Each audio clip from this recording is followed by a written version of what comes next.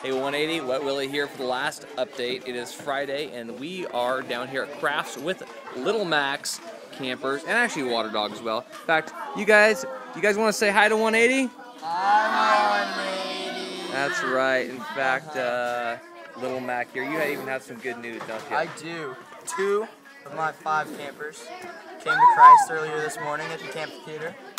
Caleb Awesome. And Tyler. Awesome. Awesome. Beautiful So it's been a good week. Oh yeah. Awesome. Oh, yeah. Lots of fun. Lots of fun. Right on, man. Not enough sleep. Not enough sleep, not even close.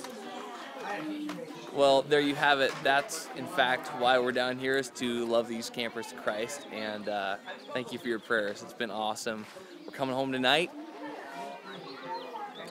Kind of sad. It's a sad day here at Camp Harlow because we have to go home. But we'll see you guys on Sunday. We look forward to seeing you, and uh, we're glad that you watched us all week long. Thanks for uh, thanks for praying for us, and we'll see you on Sunday. Bye.